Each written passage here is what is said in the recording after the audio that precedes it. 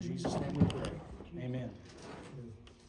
All right, so go to Hebrews chapter 9, and we're going to go to verse 3. Now, this is, um, this is something that's very interesting when the Bible describes what's actually inside the Ark of the Covenant. Okay? He says here in, in verse 3 And behind the second veil, the part of the tabernacle which is called the holiest of all. So that's telling you where the covenant of God is positioned in the temple. It's telling you that the covenant of God, this is the holiest of all. It should be the same in our hearts, right? We are now the temple. We each are now the temple. Our hearts are the temple, and our hearts are supposed to be the Holy of Holies. Okay? Which had the golden censer and the ark of the covenant overlaid on all sides with gold, in which were, now this is inside the ark, the golden pot that had the manna, Aaron's rod that budded, and the tablets of the covenant. Now, each one of these things represents something spiritually. Okay? Um, the tablets are the law. Okay, that's the tablets that that was written for Moses, carved by the hand of God Himself, right? That wrote the law. So that is that is given by the Father. Father God is the author or He is the originator of the law. Okay, that came, the, the, the tablets uh, were of the Father, and it was manifested by the law. This is showing you that all three persons of the Trinity are involved in our salvation. Okay? The law is also involved in our salvation because the law is what shows us where we come short. For all have sinned and fallen short of the glory of God. Well, the law shows us how we have sinned and how we have fallen short of the glory of God and why we need the Savior, right? It gives us the diagnosis as to why we need the cure. Okay? And um, so the tablets are from the Father and they were manifested by the law. The manna represents Jesus. Now, if you remember in the story, they received manna from heaven every day and they would go out and gather it. And they were told not to save it except on the day of the Sabbath, because if they tried to save any from the next day, it would be rotted, right? But if but on the day of the Sabbath, they would get it, and then they could get enough for two days, and it would still be good on the second day because they were told not to go out and gather it on the second day, right? They were going to rest. They were observing the Sabbath, right? So it didn't rot until after the second day. Then they had to repeat this process every day the whole time they were in, in the wilderness. Okay? But they gathered some and put it in this golden pot and put it in the, in the Ark of the Covenant, and it never rotted. It never rotted away. Now that represents Jesus Christ because Jesus is the bread of life who came down from heaven. He sustains us and he will never die, he'll never rot. Okay? He might have went into the grave and he was resurrected, but he did not rot like we do in the grave, right? He did not.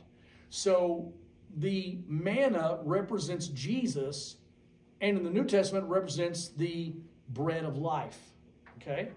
represents the bread of life. That Jesus said, I am the bread of life. Now, the third thing that was in the ark was Aaron's rod that budded.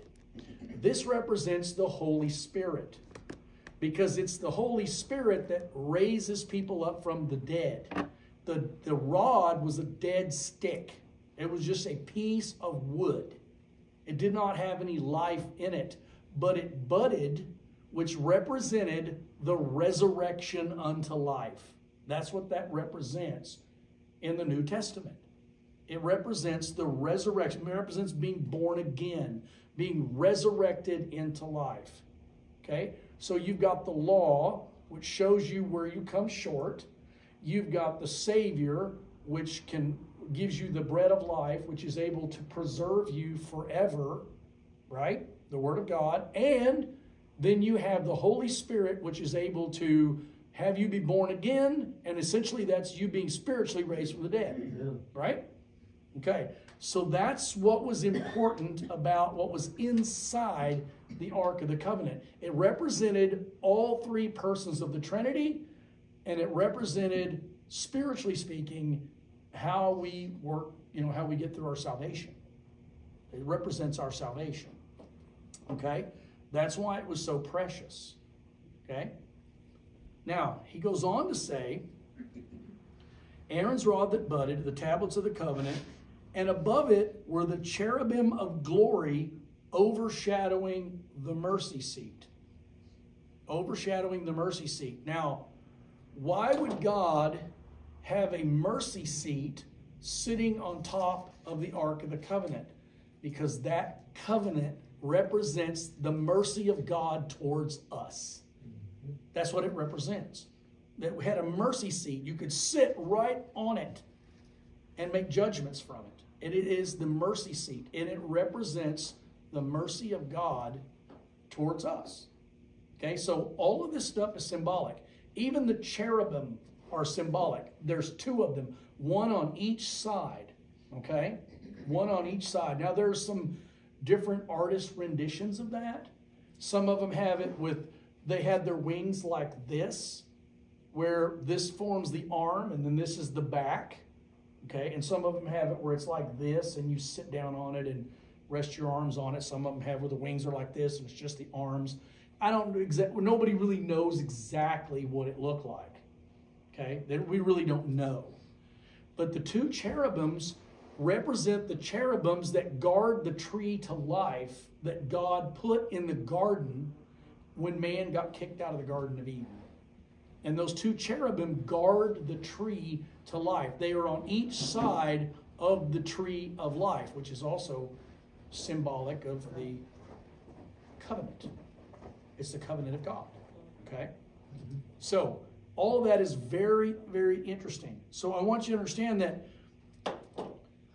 the reason that I want to go over this is because I want you to see the seamless melding of the old and the new covenants that they they do not exist apart from one another like when andy stanley who's the false teacher of this giant church over in, in atlanta said we've got to unhitch ourselves from the old testament that is a foolish thing to say Amen. extremely foolish while we don't live by the Old Testament covenant, we live by the New Testament covenant, we, there is still much knowledge to be gained by the Old Testament.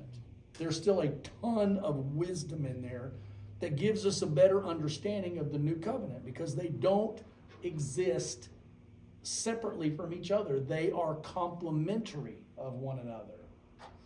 One is the root, the other is the tree. Okay? The root is the old covenant, and the and the flowering tree that produces the fruit of the church is the new covenant. Mm-hmm. Okay? So think of it kind of like that. All right. So if you would now turn over to Matthew 23 23. Go back a little bit to Matthew 23 23. And we're going to see where Jesus is talking about something that is important. And it again talks about the Trinity, talks about the Trinity. Okay? All right. Here in Matthew 23 23, Jesus says this Woe to you, scribes and Pharisees, hypocrites.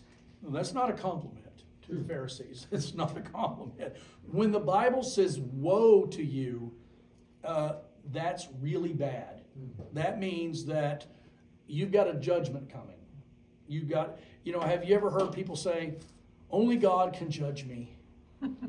uh, you, and people on the streets, we tell them, look, you know that's bad, right? if God were judging you right now, it would you'd be a lot worse. Okay, if I mean, if we let the Word of God judge us in this life now, we even let other Christians judge us, and you know, by the Word of God, that's one thing. But if you die without Christ and God judges you, you're not going to have a good day. No. It's you're going to have a bad eternity.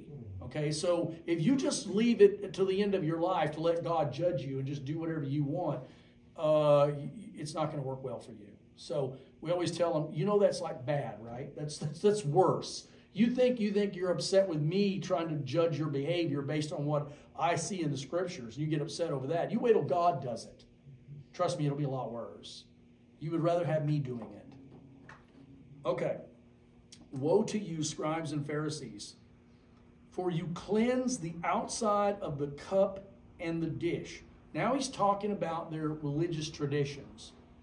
Okay, Jesus told them at one point, You make the word of God of no effect by your traditions. Unfortunately, man has this really terrible habit of taking what God says and then reinterpreting it to fit what they want, like King Saul did. He wanted to keep the Amalekite king alive so he could parade him around and be really prideful, and he wanted to keep all the animals alive. When Samuel, speaking for God, told him, You need to kill all the animals, you need to kill the Amalekite king, don't leave any of them alive. And he says, Oh, well, I, I did do the, I, he told Samuel, I did do the will of God. And then Samuel says, Then why am I hearing this bleeding in my ears? Okay, these animals are supposed to be dead. Mm-hmm. They're not supposed to be alive making noise. So he did not obey. He obeyed the way he wanted to. And that's what they're doing here. Jesus is saying you're only doing things superficially.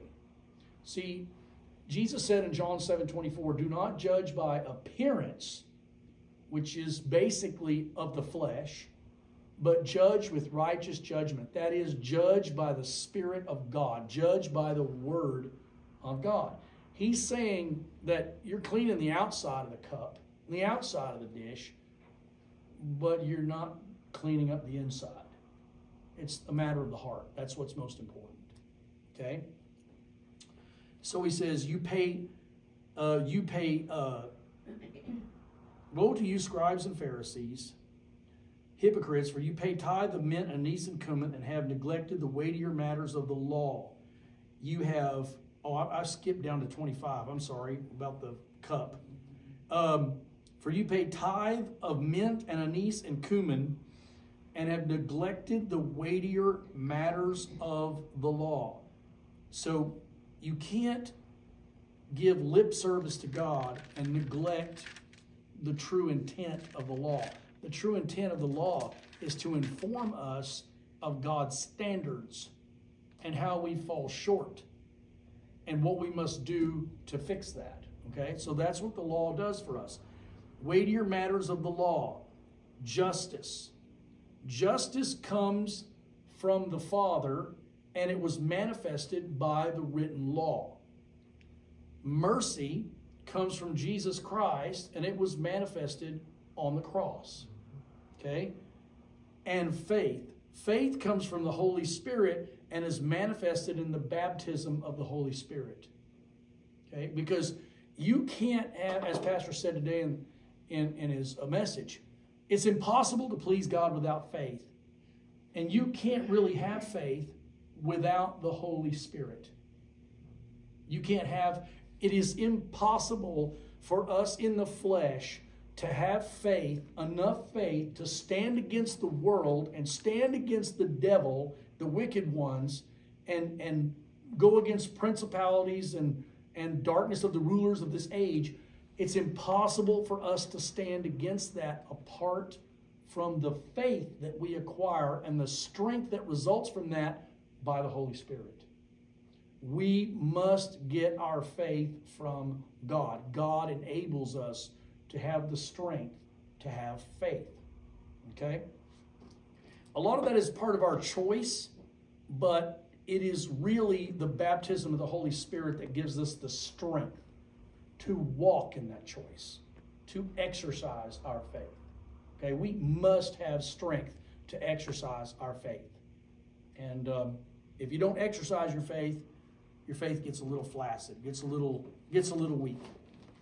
Okay, so I wanted to go over that the Ark of the Covenant portion of this message to show you that the New Testament and the Old Testament are linked, and you, you can see you can see the Savior in the Old Testament, just like you can see the wrath of God in the New Testament.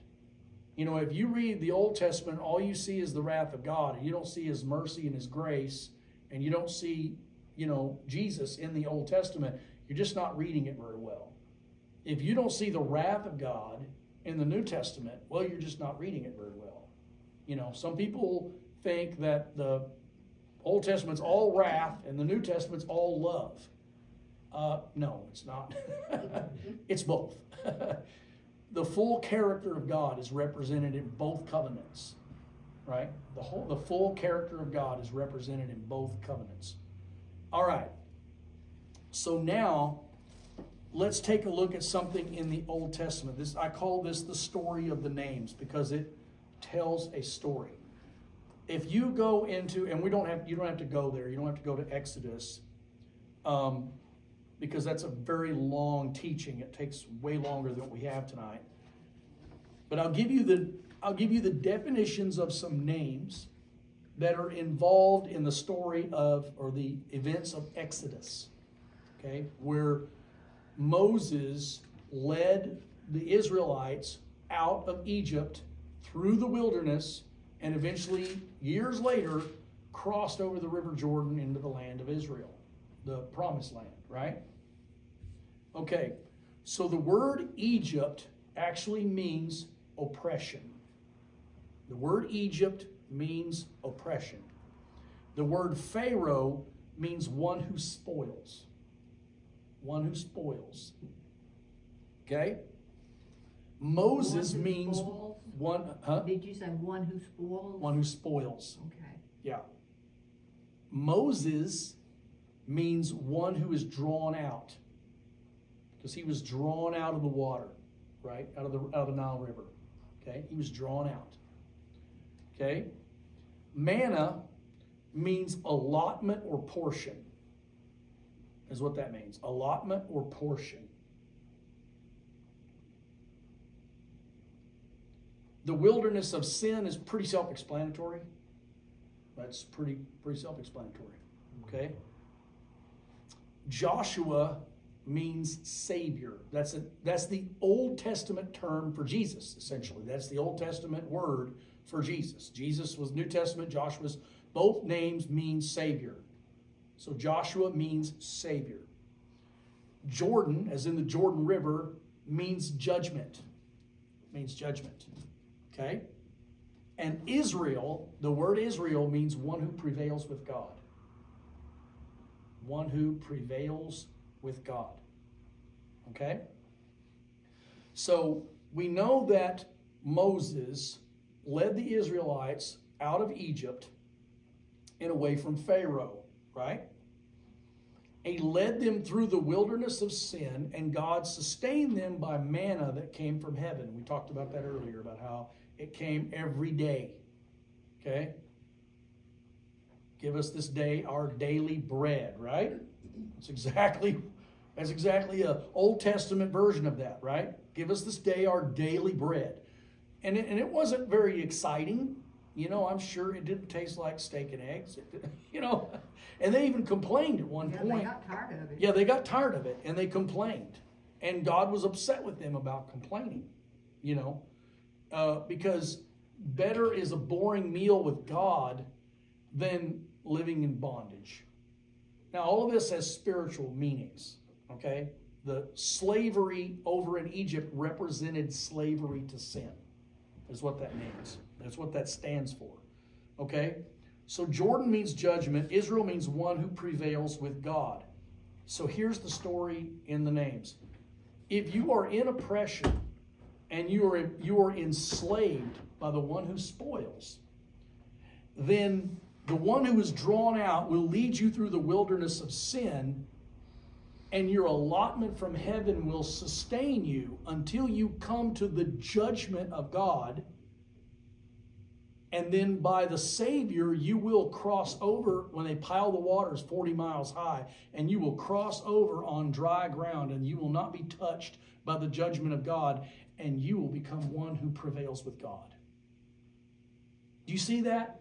the story of salvation in Christ is contained in the names of the story of Exodus.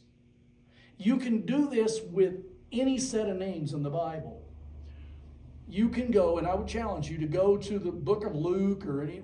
There's uh, there's two books in the New Testament uh, in the Gospels that have a list of names. It gives you, huh? Yeah, Matthew, and I think the other one is Luke. Right? Has a one leads to Joseph, which is um, which was Jesus's um, uh, father, guardian father on earth, and then the other one leads to Mary. Both of them came through the lineage of David. Both of them did. But if you go and you take those names and you find the meanings of each one of those names, it's a it's a characteristic of Christ. It tell it gives you a description of the character of Jesus Christ.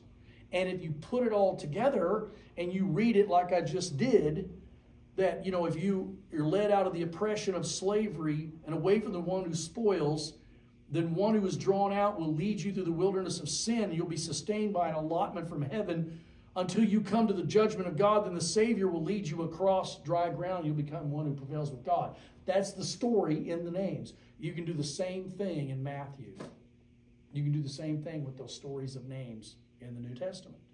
They're not just not just the names of Jesus' lineage, but every every lineage in there. Well, you can you can. Um, I haven't studied the lineages of other people yet. Okay. I have not. So I don't know for I can't tell you yes or no on that. I can't tell you what I don't know. Okay. But I do know I have studied the names of the lineage of Jesus, and every single one of those names absolutely tells you a little bit about the character about the character of Christ. Okay. It gives it gives you a description of Jesus. I think when you did it before and you, you you did a lesson on that, that it actually told you the story of Christ too. Well, yeah, I, I just did. I told you this is this is the Joshua's no. the savior. Right. No, I meant the in in the when you go through the lineage of David. Oh yeah, if I do if I do the New Testament, and I can do that later. We can do that another lesson where we go through the whole names of the lineage of David and all of that because there's was there 14 generations between I think that's right. from Adam to David and then from David yeah there's 14 then there's 14 more. Yeah. so yeah you go through those it gives you it's that's a long description of what Jesus is, is like. It gives you a long description of him of him. Uh, but it also How tells a story. what these names mean? Uh, you can look them up in like uh, strong concordance and stuff like that. You can look up the names. And uh, and they'll tell you what those what those names mean. And it's very, very interesting. Out, so. Yeah. Now, if you would turn over to um, Joshua chapter 3, we're going to start in verse 13. Joshua chapter 3.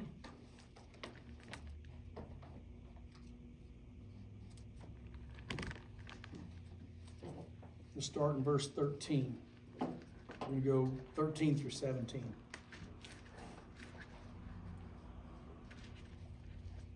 Joshua 3 13. Okay. And let me find my place here. There it is.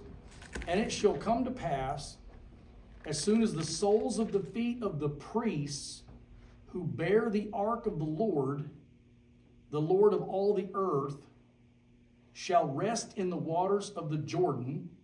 Okay, so that's talking about judgment, if you look at this spiritually, okay, uh, what does it say in Genesis chapter 3, verses 14 and 15? Hold your place here in Joshua, and let's take a look at that real quick so we can get an understanding of what is actually going on here in the spirit.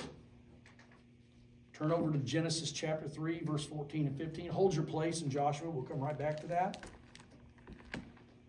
Genesis chapter 3, verse 14 says, So the Lord God said to the serpent, Because you have done this, you are cursed more than all cattle, and more than every beast of the field. On your belly you shall go, and you shall eat dust all the days of your life.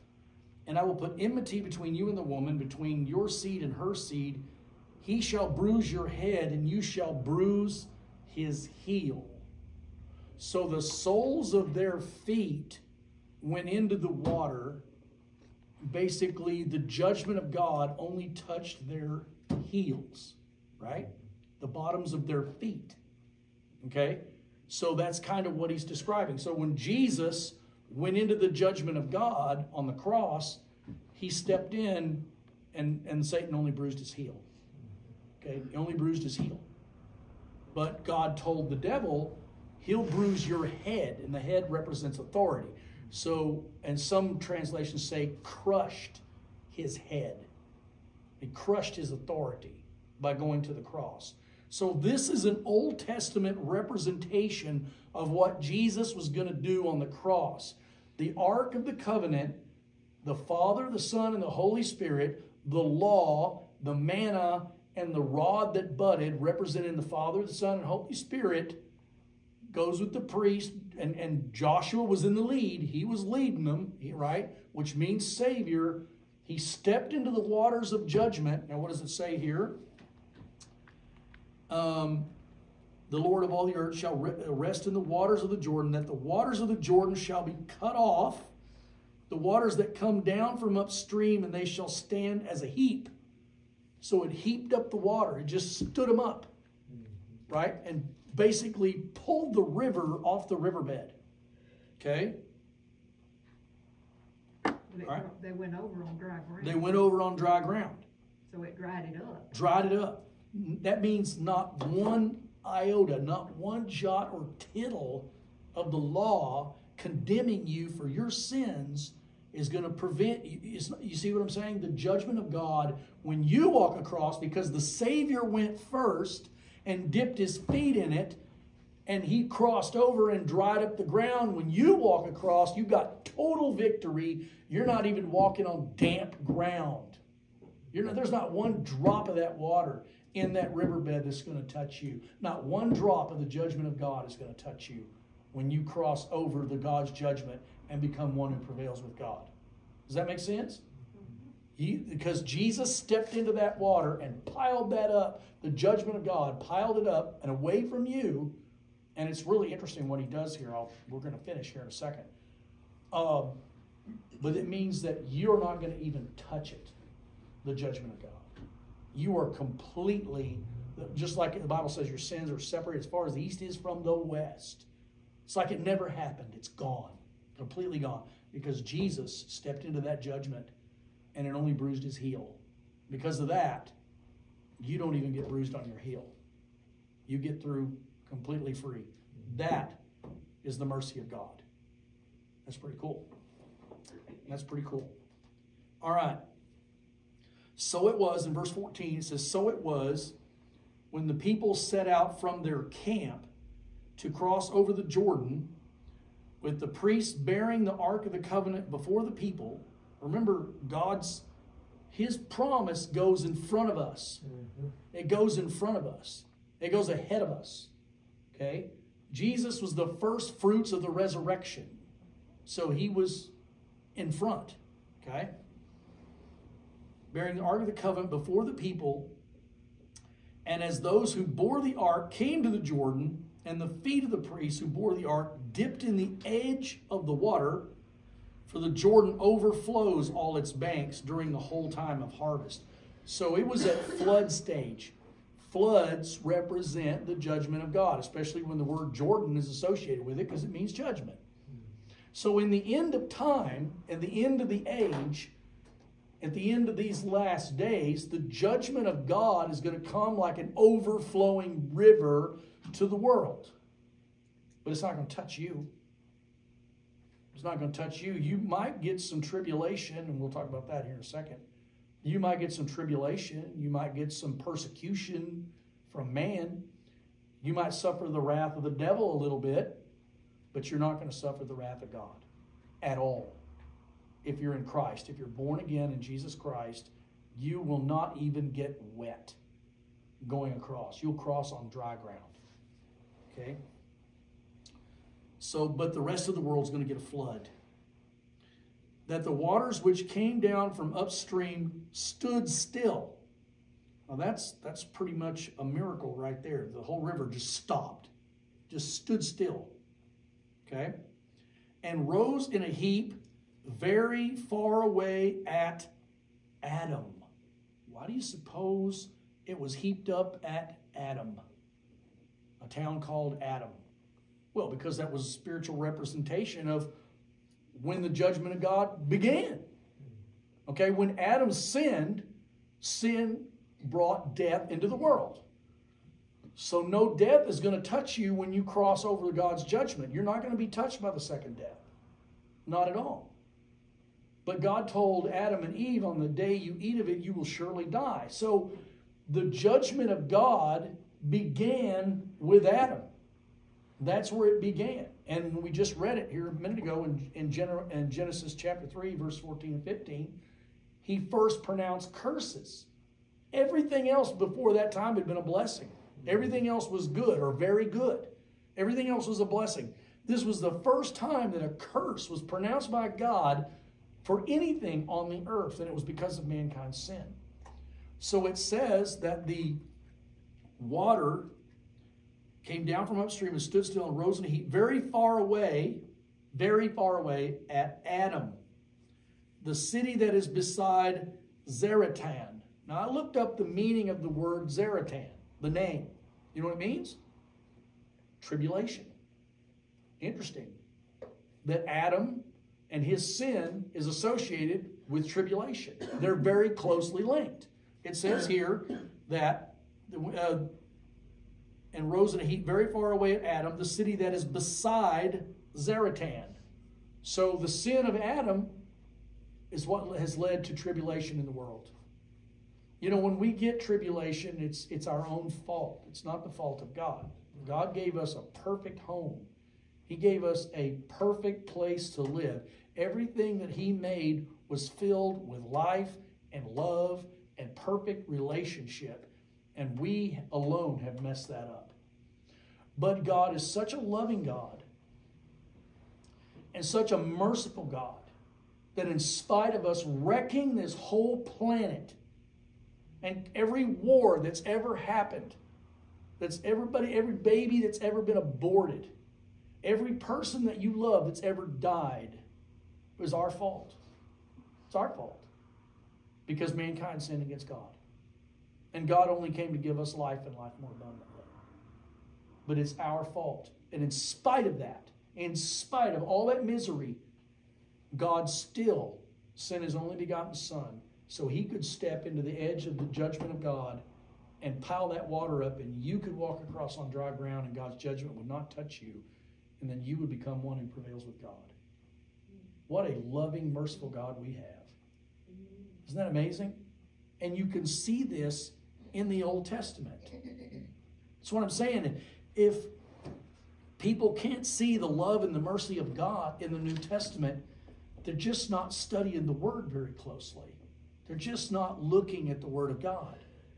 They're not studying it out.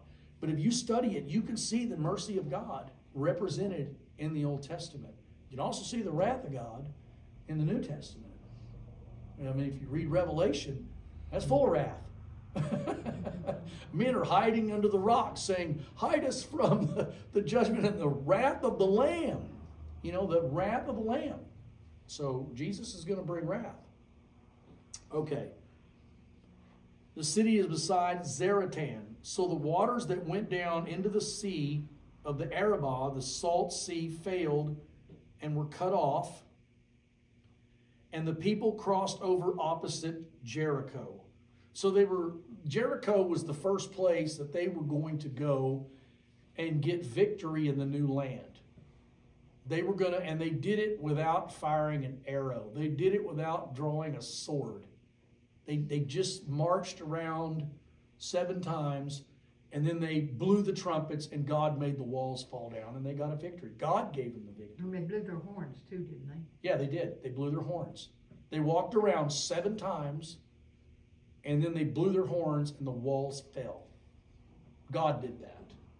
They didn't have to. They were they, they were probably way way there was way fewer of them then than there is today. And they were they may have been completely outnumbered by the city of Jericho. I have no idea. We don't know how many people there really were. We don't know how big Jericho was. But we know that um, God God took the walls down for them. Well, they were pretty good sized Israelites, cause it was twelve tribes. Yeah, there's 12 tribes. And um, there's an interesting, um, you know, I used to always be really bored with the book of Numbers until I started actually studying it. If you, let me, maybe get a pen. Let me see that pen. I'll show you something else right quick. We got time? Oh, yeah, we got plenty of time. Got plenty of time. If you go to the book of Numbers, and you'll notice when the Israelites would camp out, when they would camp, okay? They did it in a certain order. Yeah, they did it in a certain order, that's right. And I'm going to give you a little illustration of that. In the center, they would put the tabernacle, okay? That's where the Ark of the Covenant was. And, and they this was a temporary temple, is what it was, that they would take it down, move it, and then they would reassemble it, okay? That was the tabernacle. All right, so they put that in the center. And then they had, if you look at the numbers, you actually look at the numbers of how many were in each tribe, okay? It, it, you, it will tell you that some camp to the north, some to the east, some to the west, and then there was a much larger group that camped to the south. Okay, so if the tabernacle was in the middle, there's the symbol that it made the cross. You can see the cross in lots of places in the Old Testament. And then you have like, you know, like one, two, three, four, five, six, seven, eight, nine, ten. Or I'm, I'm missing two tribes, but basically, the 12 tribes were laid out. I guess you'd have to put two more down here like this. They were basically laid out kind of like that in the shape of a cross. So if you were to stand up on a mountain at night and overlook the campfires of the Israelites, the Hebrews, you would see a cross in light out there in the wilderness. That's what you would have seen. Pretty amazing, huh? That's pretty cool. But the, you, you look at the numbers, how each one camped to the north or to the south or to the east or the west, and you put the actually put it to paper on the numbers, and that's what it'll show you. It'll show you that it's the um, uh, it's the shape of a cross. Everything in the New Testament is highly symbolic, highly symbolic, pointing towards Christ. Everything in the Old Covenant points to the cross in the future. And everything in the New Testament points back to the cross in the past. Because the focal point of our salvation is the cross of Christ. That is the focal point of our salvation. And there's only one event that's going to be more, maybe, I'm not sure it's debatable, but one event that's going to be more important than the crucifixion of Jesus Christ and his resurrection, and that's going to be his return. the rest of us get to go with him, and the world is, all the sinners are destroyed with a sharp two edged sword coming out of his mouth, and then he actually takes possession of the earth that he earned back on the cross. That will be the biggest event in all of human history. The biggest, because everybody's going to see it. Every eye shall see. And then it says the nations will mourn. Well, why are they going to mourn? Well, because they didn't listen. And they're like, oh my gosh, it's true. Here he comes. We're doomed. Too late now. So they're going to mourn. Mm-hmm. Won't do them any good, but they're going to mourn. Does anybody have any questions?